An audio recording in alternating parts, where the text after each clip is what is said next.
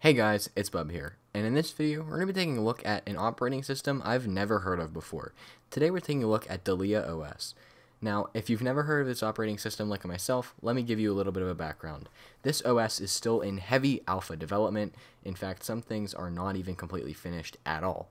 In fact, some things are just completely unusable, so we're going to go ahead and take a look at it and see if this is a good proof of concept for what could be a very popular Linux distribution in the future. This OS has been in development for, as far as I can tell, a pretty long time, and they just released a new update probably a week ago, and that was their first update in I think like a year roughly. So this has been in development for a long time, and so I'm really excited to share it with you guys today. For compatibility reasons and because they only provided an image and not an ISO, we'll be actually using this on a real machine. So I'm currently screen recording a physical laptop with the USB inserted. So I'm going to go ahead and enter and boot dahliaOS. We can see right off the bat that, of course, it is an alpha operating system. It is running some verbose boot code right now. However, I'm sure, I believe that there is a boot screen, but as we can see, it's just detecting my keyboard, my mouse, um, all the USB stuff, and it's starting the network manager and that kind of stuff. And here we are. So first impressions, this kind of looks like Chrome OS and Windows 11 in a little bit. Um, we do have our options, or like our dock, we do have like our start menu or launcher thing over here in the time, but the center just reminds me of Windows 11 for some reason. Um, but the background is like the orange version of the Chrome OS background, which is pretty cool. So let's just start from going from left to right. This is like our launcher and it's separated between all the various categories, which is honestly pretty cool. We do have power um, user settings and settings down here, which is obviously a very cool thing to have. You can also minimize it into like an actual start-like menu, or you can full screen it, which is very nice.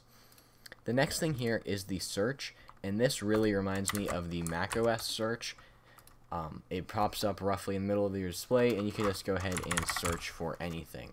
And so again, let's just, we can open the web browser and that's pretty cool.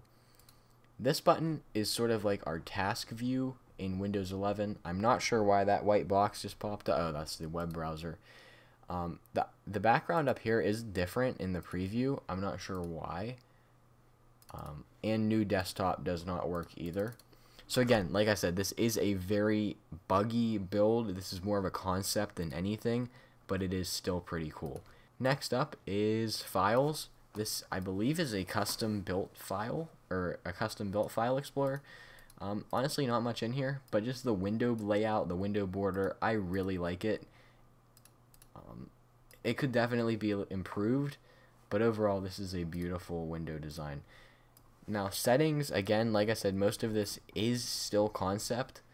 So we can see just about device dahliaOS 220222, Linux 5.17, the desktop, blah, blah, blah, blah, blah, all that fun stuff. And let's just try and enable Wi-Fi. It does not even detect any Wi-Fi.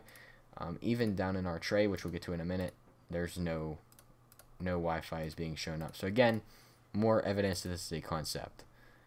Again, Bluetooth, files, blah, blah, blah, blah. Customization, we can change our theme color, light and dark mode, all of that fun stuff. And we can also turn it into like Windows 10 with all of everything on that side, or we can center it. You can change window border radius, which is honestly pretty cool. Or you can change the top to have a custom accent, but I'm going to keep it transparent all of these, I believe, are still not even implemented yet, so they're just blank. But it is a very cool just to see that, hey, here's placeholders, here's what we plan on adding in the future. Next up is, of course, the terminal. I believe this runs just like a regular Linux terminal, and the settings for terminal shows nothing. Pretty nice. The calculator, uh, pretty standard calculator. I'm not too impressed with it.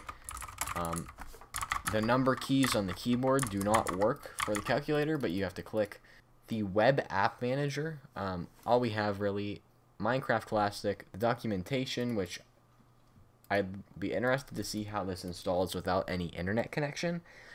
Um, Townscaper, Google, VS Code, and Discord. And this is media. Um, this is like the media viewer. I don't know why these are here, and I don't know what they are placeholders maybe? I'm not sure. Next up is over here. This is the control center is what i'm calling it. I'm not entirely sure what it is.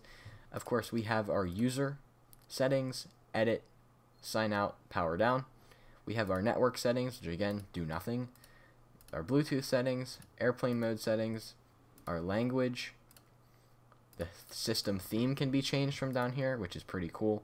Even the dark mode and all the colors.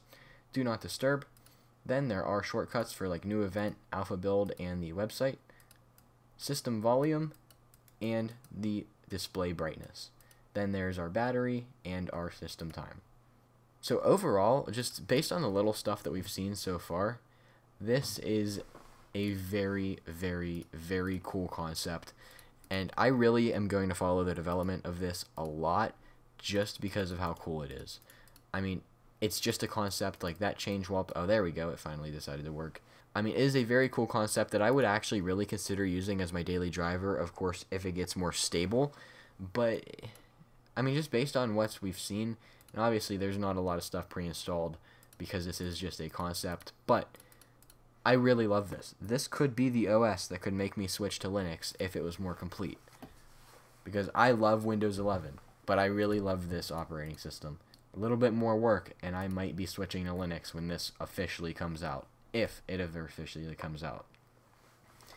I'm extremely excited to see what the future of dahliaOS holds, and maybe even if it could be used on older Chromebooks to repurpose them, sort of how Chrome OS Flex is working right now with older systems. So yeah. Oh, and here are virtual machines. Um, I'm assuming that these are just like this is just like a concept. Yeah, I don't know. I've never heard of that app before. But uh, yeah, this was dahliaOS. I was really excited to share this with you guys just because it's really cool to see an operating system in development, and I really cannot wait to see what this will look like in, let's say, two years. I think in two years, this could definitely be ready. Um, and I am really excited because I love the transparency effects. I love all the effects here. I mean, I could totally go with this as a daily driver. That being said, if you like this video, make sure to like it and subscribe if you're new around here, as I do all kinds of different technology videos, including device restorations. With that being said, thank you to all these people for creating dahliaOS, and I'll see you all in the next one.